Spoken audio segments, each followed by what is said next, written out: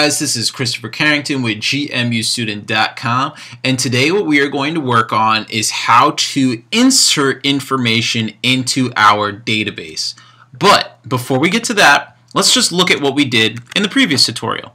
So let me uh, minimize everything so that you can fully see it. So we imported all of the information that we needed. Um, we imported two exceptions so here are the two exceptions that we used. And then we imported connection, statement, and driver manager. And we utilized that in connection, statement, and driver manager.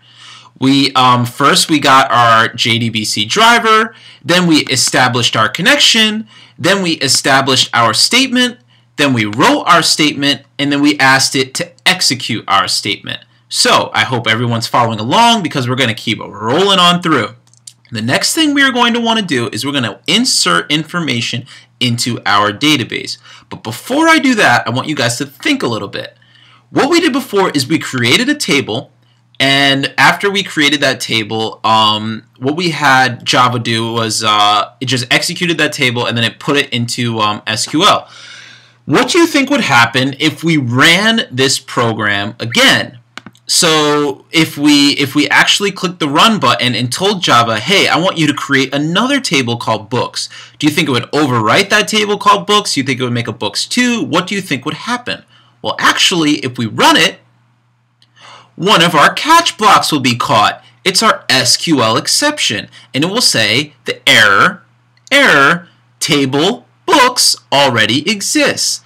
This is the whole reason why we did those catches, so that anytime we have a problem, it will tell us what that problem is in the console. This will make debugging so much easier if you actually catch all those exceptions that you're throwing and then print them out to the console because if you see, hey, I keep clicking on, uh, I keep clicking the run button and it's not going in. Well, if you look in the console, it'll tell you why. That's why it's really good to make your own of these and not use frameworks because then you'll know exactly how everything is running. So I just wanted to point that example out to you just so that you can realize, hey, why on earth did we actually write these catches here?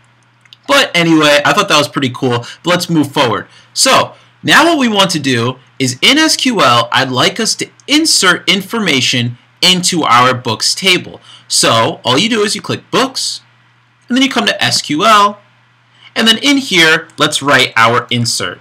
So write insert into, and then write books, and give me an open and close paren, and then write values, and an open and close paren. Honestly, guys, the only way you are going to get used to this syntax is if you write it over and over and over again. I know it's a little weird, but if you really think about it in plain English, it just sounds like plain English. It makes sense, but you're just going to have to write it over and over and over again, or you can just look up W3 schools every single time you want to do something. It gets pretty annoying after a while. But let's get back on track. So in the first paren, what you're going to want to put are all of the columns that you would like to insert something into. Take a look at that. All of the columns for the books table. So that's going to make this part pretty easy. And then the values, you put in the actual values you want to put for each column, and they have to line up. So let's do that. In books, let's type in ID, name, author, and publisher. And then in here, you will type in the value you want for ID, the value you want for name, author, and publisher. So that would just be like this. And remember, never put a comma at the end because then SQL will expect you have something else. Now, before we keep going, I want you to think about something for a second. If you think about when we created this database, we said that we wanted the ID field to be auto increment. So what that means is if we don't specify an ID, then SQL will know hey, the last ID was 7, so we know this ID is going to be 8. Or if you have no if you have no books in there now, the first one is going to be 1. So instead of having to think about, okay, this one's going to be 4, and the next time it's going to be 5, and the next time it's going to be 6, all we have to do is not include it. All you have to put in your insert is the columns you want to insert things into. So don't get in the habit of thinking, oh, I have to insert something into all of them every single time. No, you only have to insert things in the columns that you desire to insert them into. So since this is the first book, theoretically, it should be a 1. So let's type in a book name. So let's type in Harry Potter. And let's type in J.K. Rowling. Sorry if I misspell it. And let's say the publisher of it is Apple Corporation. Who knows what it is? Not the point. Okay, so after we've written this, let's highlight everything. Hopefully it works. And let's click Go. And since nothing is happening, that means it worked. So let's type in select star from books, and this means show me all of the columns from books. Go. And you will see ID 3 name Harry Potter, author J.K. Rowling, publisher Apple Corporation. You guys should definitely have an idea of one. I'm pretty sure what happened was before I did this tutorial, I did two of them um, on my own just to make sure that it was working correctly, and then I deleted them, but it's still seeing them, so it started at three. So don't worry about that. You guys should definitely have an idea of one, but you get the general gist of what I'm trying to show you. So, since we copied that insert, let's go into Java, and now we remembered let's look at what we have so far. So we have we have our driver established, we have our connection established, and then we have our statement established. Do we want to execute this statement again? No, we went through that before. So we can either delete it or we can comment it. Let's just comment it for now. But we said every time we want to write a statement, we have to say statement is assigned connection.create statement. And since we do want to do an insert statement, we still need that line. So that line's fine and it stays.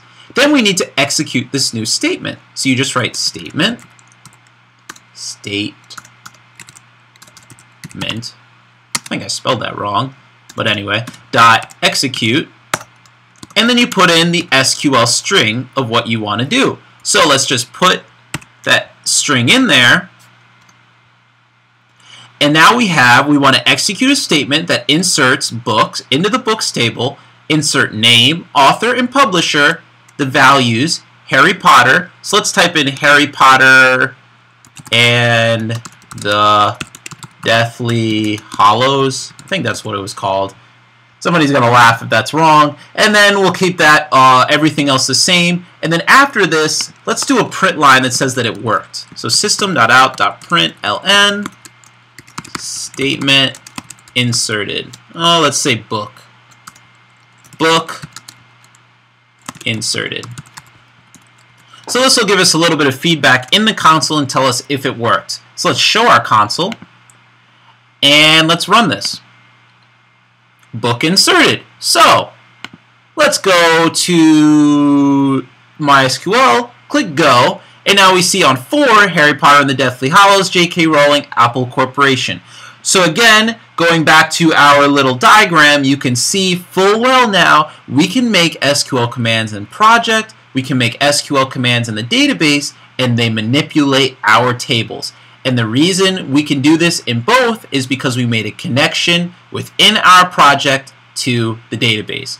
Really sweet stuff. So I hope this tutorial made perfect sense to everybody watching it and thank you so much for following through. Stay tuned for the next tutorial because we're going to be learning some more.